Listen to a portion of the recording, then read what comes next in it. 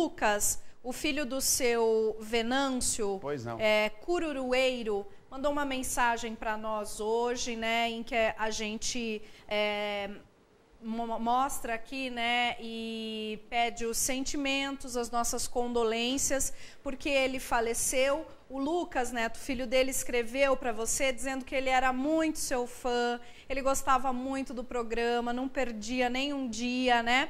E ele pediu para que avisasse, ele era muito conhecido, né? Cururueiro, aqui da cidade. É, o enterro será, o velório será amanhã das 7h30 de- às 10h30 no cemitério da Vila Resende, né? Ainda com as restrições da pandemia, mas quem é, a família pediu, né, para a gente avisar. Olha, eu quero deixar aqui as minhas condolências, né, a toda a família, né, e a gente sabe é, que o seu Venâncio, né, Cororeiro, sempre assistiu o programa Piracicaba Agora, sempre acompanhava o nosso programa, tinha um carinho muito especial por todos nós aqui, assistindo todos os dias o programa, né, que Deus o tenha, é, fazendo, né, o que ele mais gostava de fazer, é o cururu, né, algo importantíssimo aqui na nossa cidade, uma cultura que é nossa. Então, São Venâncio já está com o nosso Senhor, né, São Venâncio?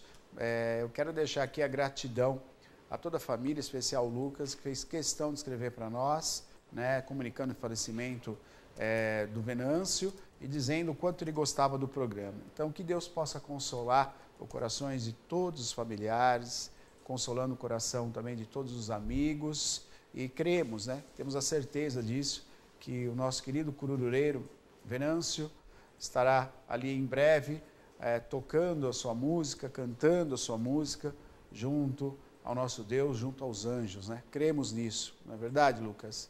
Que Deus abençoe toda a família, que possa confortar. Então fica aqui o recado, né?